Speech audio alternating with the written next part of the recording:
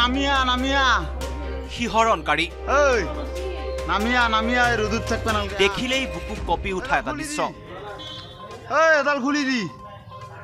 আ নামিয়া এ ৱাদিয়া আহ ঘটনাৰ স্থান ৰঙিয়াৰ ৰেল বিভাগৰ কাৰ্যালয়। হঠাৎ হুলস্থুল লাগিল কাৰ্যালয়টোত। কাৰ্যালয়টোৰ মূধচত উঠি আত্মহত্যাৰ চেষ্টা এইজন যুৱকৰ।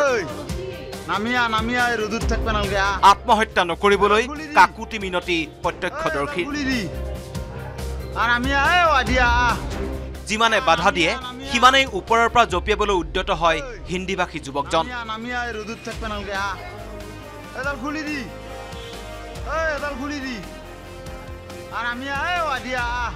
যুৱকজনৰ এনে কাণ্ডৰ পিছতেই ঘটনাস্থলীত উপস্থিত হ'ল আৰক্ষী আৰু এছ ডি আৰ এফৰ দল।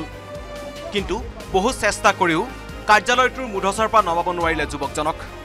দীৰ্ঘ সময়ৰ অন্তত মুধচৰ পৰা জঁপিয়ালে যুৱকজনে।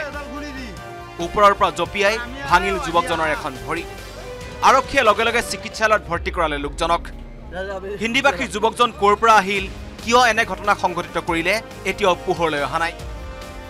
কিন্তু এই ঘটনাই ৰঙিয়া অঞ্চলটোত সৃষ্টি কৰিলে তীব্ৰ চাঞ্চল্যৰ।